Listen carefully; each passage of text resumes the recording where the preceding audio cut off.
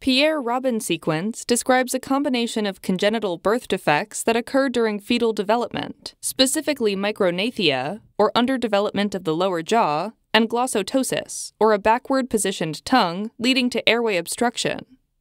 The cause of Pierre-Robin sequence isn't fully understood, but often occurs as an isolated genetic mutation, or it can be part of a syndrome like Stickler syndrome.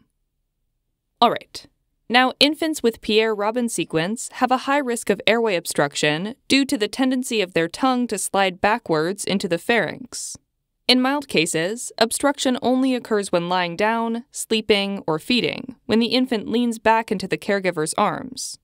In severe cases, however, the obstruction can make normal breathing difficult and lead to stridor, a high pitched whistling sound made by the collapsed airway. Most infants with Pierre Robin sequence also have cleft palate, which is an opening in the roof of the mouth.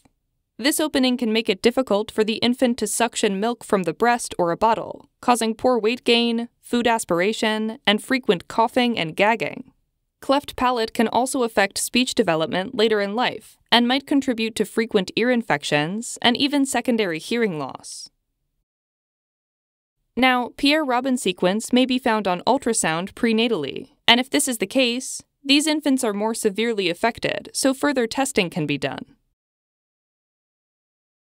After birth, diagnosis is usually made based on history and physical examination. A nasolaryngoscopy, a technique where a small tube is inserted from the nose and into the throat, may be done to help locate the level and severity of airway obstruction.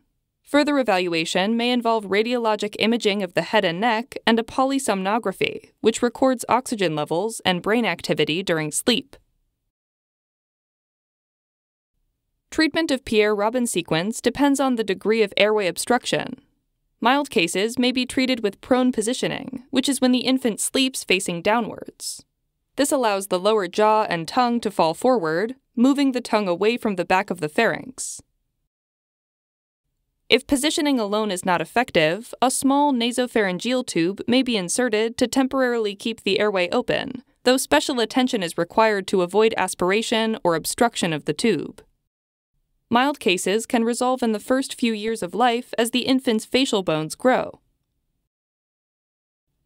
Moderate or severe cases, on the other hand, are treated surgically with either tongue lip adhesion, mandibular distraction, or a tracheostomy. Tongue lip adhesion is a temporary measure that involves attaching the underside of the tongue to the lower lip. This brings the tongue forward and prevents it from falling backwards. Mandibular distraction is a technique used to elongate the jaw, which drags the tongue base forward to relieve airway obstruction.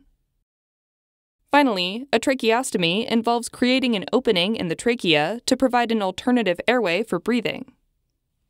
Alright, as a quick recap, Pierre Robin sequence is the association of micrognathia, glossoptosis, and airway obstruction. The most common manifestations include breathing and feeding difficulties. Treatment is aimed at keeping the airway open and may include positioning, insertion of a nasopharyngeal tube, or surgery.